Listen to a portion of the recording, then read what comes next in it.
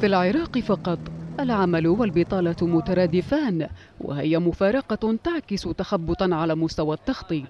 فالبلد يشهد استقداما كبيرا للأيدي العاملة الأجنبية مع ارتفاع ملحوظ في معدلات البطالة.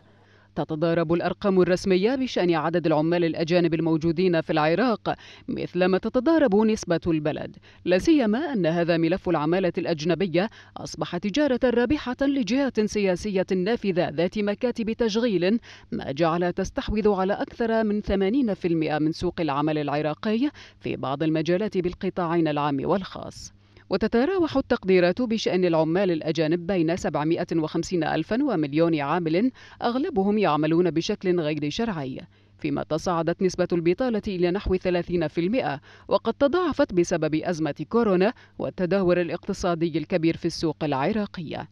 وفي ظل انعدام تام للقوانين الضابطة لاستخدامهم تستمر أزمة العمالة الأجنبية في العراق تزاحم أبناء البلد وتشكل خطرا اجتماعيا واقتصاديا. برغم ترحيب بعض أصحاب العمل بالأيدي العاملة لرخص أجورهم وعملهم لساعات طويلة.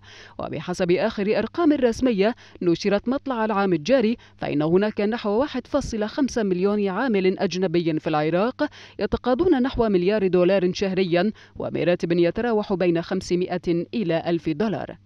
ولا تبدو أسباب تشغيل العمال الأجانب مفهومة في بلد تعداده أكثر من 40 مليون نسمة. ونسب البطالة عالية فإن الحل هو حث الشباب على العمل في كل شيء وليس استخدام عمال أجانب.